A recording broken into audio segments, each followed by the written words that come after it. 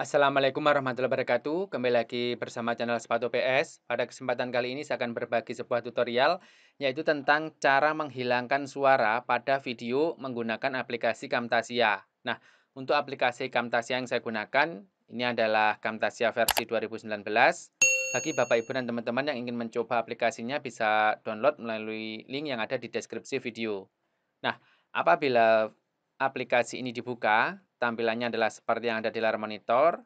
Di sini untuk menghilangkan video, pertama kita import terlebih dahulu videonya. Nah, kita klik di bagian media, kemudian kita pilih import media atau bisa juga kita klik icon plus, kemudian kita import media. Nah, di sini akan saya import melalui eh, folder yang ada di laptop saya.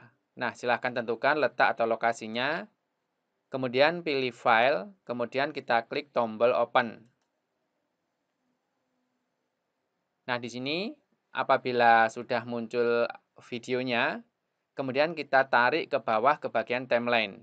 Nah, di sini bisa di track 1 atau track 2. Nah, selanjutnya apabila di preview, eh, saya geser dulu di bagian video yang ada suaranya.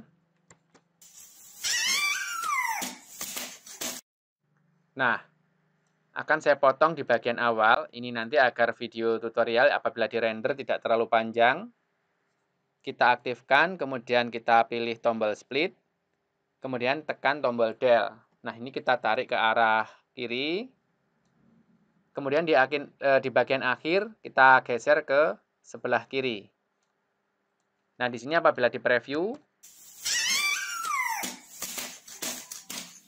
Nah, Salah satu cara untuk menghilangkan suara pada video menggunakan aplikasi Camtasia, di sini silahkan aktifkan terlebih dahulu video di bagian track, kemudian di sini, nah pilih di bagian edit audio property. Kemudian di sini kita geser ke bawah, atau kita e, kecilkan poinnya. Nah, di sini menjadi 0%. Kemudian apabila di, e, di preview, Nah, ini suara akan hilang. Nah, salah satu cara lain untuk mengecilkan atau menghilangkan suara, nah di sini akan saya kembalikan terlebih dahulu, saya tekan tombol kontrol dan huruf Z.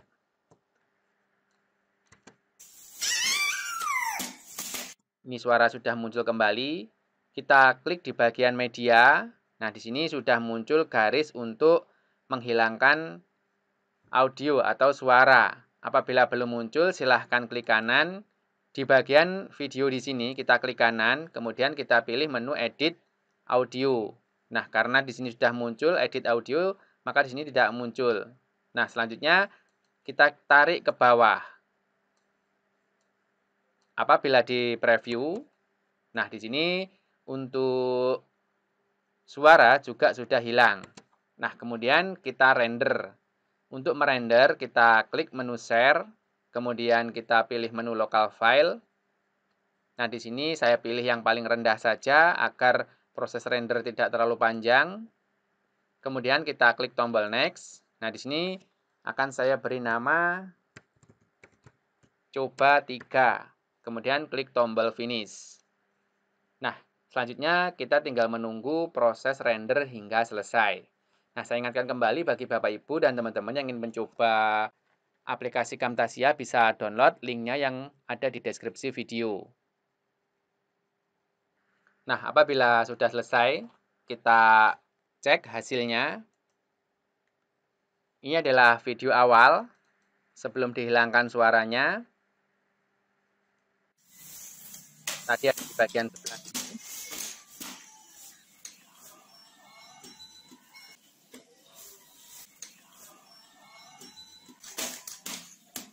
Kemudian hasilnya kita buka di folder dokumen, kemudian di folder Camtasia. Nah, tadi diberi nama coba 3. Kita cek. Ini adalah video yang sudah dipotong.